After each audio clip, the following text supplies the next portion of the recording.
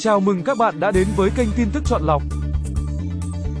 Đừng quên bấm like và đăng ký kênh để cập nhật tin tức mới nhất hàng ngày. Xe tải tông giải phân cách một phụ nữ đi xe máy gãy chân. Vụ va chạm liên hoàn xuất phát từ việc xe tải tông giải phân cách xảy ra ở cầu An Lộc Gò Vấp, thành phố Hồ Chí Minh khiến một người phụ nữ đi xe máy gãy chân, giao thông ùn ứ. Trưa 23/7, ô tô tải 51D169.17 chạy hướng từ quốc lộ 1 về đường Lê Đức Thọ, khi đến cầu An Lộc quận Gò Vấp, thành phố Hồ Chí Minh thì tông trúng giải phân cách bê tông. Cú tông mạnh khiến hai phiến bê tông bị đẩy văng ra làn đường ngược lại đúng lúc xe tải 51C858.88 chạy tới, tài xế xử lý không kịp đã tông trúng. Do xe tải giảm tốc độ đột ngột khiến hai xe máy chạy cùng chiều cũng va vào xe này. Va chạm liên hoàn khiến một người phụ nữ đi xe máy bị gãy chân được người dân đưa đi cấp cứu. Người đàn ông còn lại bị thương nhẹ. Tại hiện trường, hai xe tải chắn ngang đường, nhiều mảnh vỡ văng tung tóe cùng bê tông. Giao thông qua khu vực ùn ứ nghiêm trọng. Lực lượng chức năng quận Gò Vấp sau đó có mặt xử lý hiện trường, phân luồng giao thông.